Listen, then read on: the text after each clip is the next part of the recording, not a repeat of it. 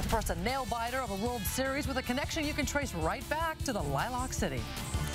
Game seven between Chicago and Cleveland, more than 2,000 miles away, but the Cubs starting pitcher a little closer to Spokane than you might think.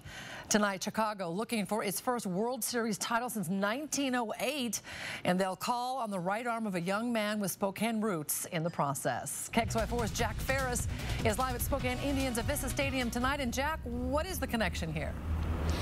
Yeah, Nadine, as you mentioned tonight, Kyle Hendricks takes the mound in Game 7 of the World Series with the weight of a city on his right arm. Now, while it's been 112 years since the last Cubs World Series title, it's only been five years since Hendricks took the mound right here at Avista Stadium starting pitcher for the Cubs this afternoon. After being drafted in the eighth round by the Rangers out of Dartmouth University, 21-year-old Kyle Hendricks wasn't sure about his future. It was pretty hectic there for a few days, figuring out where I'm going and all that. But you know, now I'm here and you know, I'm getting more comfortable as, as the days go by. So the season should be fun.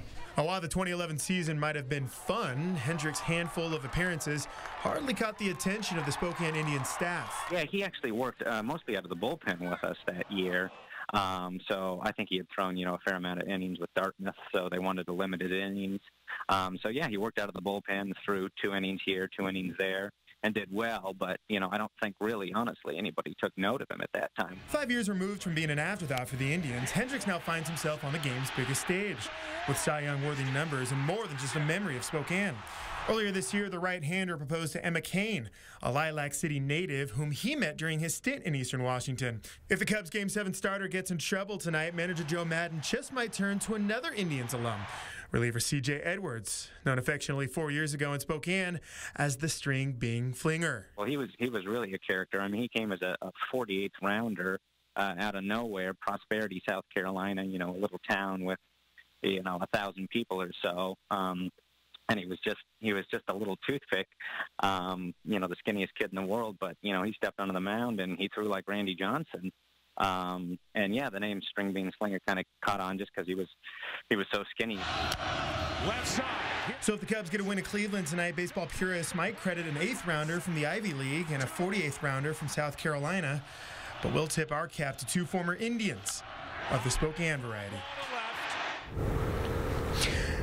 Now, we heard there from Spokane Indians PR director Bud Bareither, who, of course, knew both players during their time here in Spokane. He admits he had some nerves last night, not a lot of sleep in anticipation for the biggest game of Hendricks' career. I'll bet. So, Jack, is he doing anything, Hendricks, uh, anything special for the game tonight? You know, Nadine, I, I asked Bud that. Uh, he was clear he didn't have specific plans, but one thing's for sure he's going to watch the game in a quiet place, so no bars for Bud tonight.